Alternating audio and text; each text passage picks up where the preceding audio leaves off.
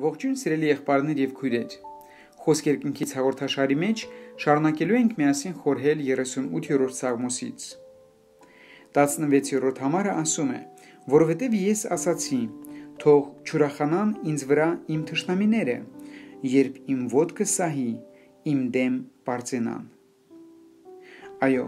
մեկը որ թշնամական հարաբերություն ունի մյուսի հետ, ուրախանում է, երբ որ սայթակում է մեկը, երբ որ ընկնում է Սակայն մենք որպես քրիստոնյա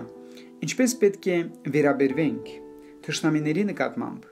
ընդհանրապես բոլոր թշնամիների նկատմամբ։ Լերան քարոզի մեջ Տեր Հիսուս Քրիստոս 5-րդ գլխի 44-րդ համարի մեջ պատասխանում է այս հարցին։ Բայց ես ասում եմ ձեզ, սիրեք ձեր թշնամիներին,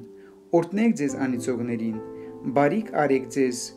ատողներին եւ աղոթեք ձեզ չարչարողների ու հալածողների համար։ Ահա թե որը պետք է լինի մեր վերաբերմունքը,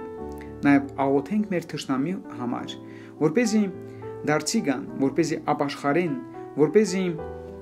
խաղաղությամբ լեցվեն, որպեսզի